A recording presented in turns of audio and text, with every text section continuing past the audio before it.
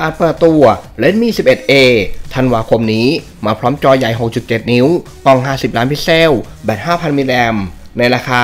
3,600 บาท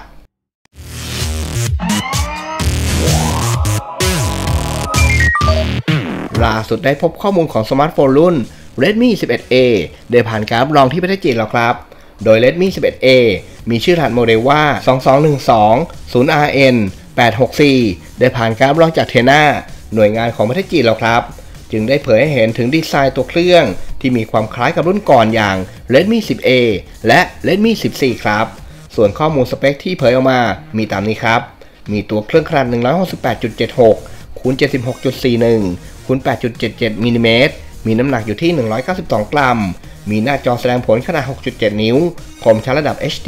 ใช้ชิปประมวลผลความเร็ว 2.0 GHz มีแรมให้เลือก 2 g b 4 g b 6 g b และ8 g b ส่วนเรอมมีให้เลือก 32 g b 64 g b 128 g b และ256 g b ให้กล้องหลังตัวหลักความละเอียด50 ล้านพิกเซล ส่วนกล้องหน้าความละเอียด5ล้านพิกเซล ให้แบตเตอรี่มาที่ 5,000 มิลลิแอมคาดว่า Redmi 11A จะเปิดตัวในเดือนธันวาคมที่จะถึงนี้ครับ ในราคา 100 ยูโร หรือประมาณ 3,600 บาทครับ